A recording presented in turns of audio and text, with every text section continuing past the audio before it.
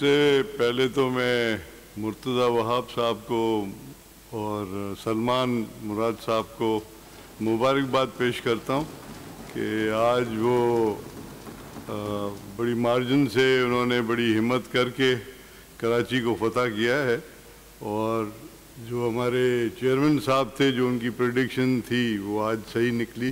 तो उनको भी मैं मुबारकबाद पेश करता हूँ कि उनकी प्रडिक्शन इतनी सही थी। आ,